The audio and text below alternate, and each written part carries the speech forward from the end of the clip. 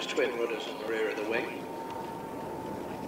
The strange thing about those twin rudders is you can actually get the two rudders to point at one another because that's how they act as air brakes. So now positioning the glider to land, you'll notice it's actually accelerating into the circuit. Very advanced design.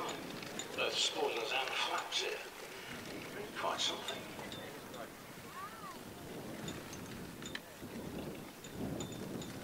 They're safely on the ground, the Fauvel AV36 glider.